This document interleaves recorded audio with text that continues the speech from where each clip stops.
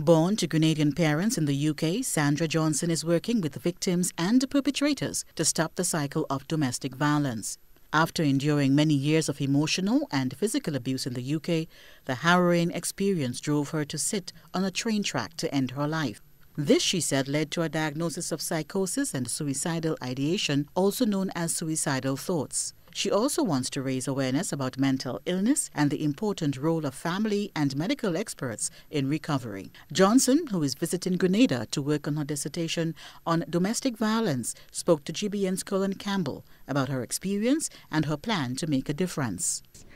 So, my, my journey begins 10 years ago. Um, I was a victim of domestic violence um, and came out of that relationship six years ago, and I decided that uh, I wanted to give back and give back to the community in terms of um, raising awareness on domestic violence issues but also mental health.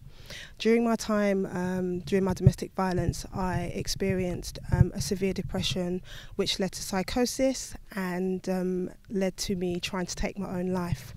As a result of that, I was uh, sectioned under the Mental Health Act and spent some time in a mental institute in the UK. Johnson said it took one person to change her mind about committing suicide, which resulted in her being institutionalized and getting the professional help she needed to recover. And that individuals I'm very, very grateful for because that individual stopped me just by saying to me, don't do it, everything will be okay.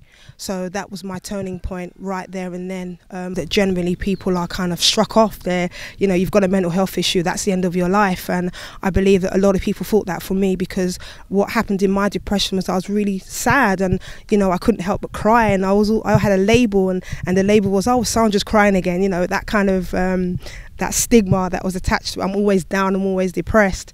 And um, I think that that's really important to know that it can happen to anybody at any given time, um, and that's an important factor. Nobody is excluded from mental health issues, nobody. So I just really want to say that it can happen to anyone, and it's all about kind of reaching out. She says she is working on launching an organization in Grenada in October, which will help people who are affected by domestic violence. Joseph McKee Smith, GBN News.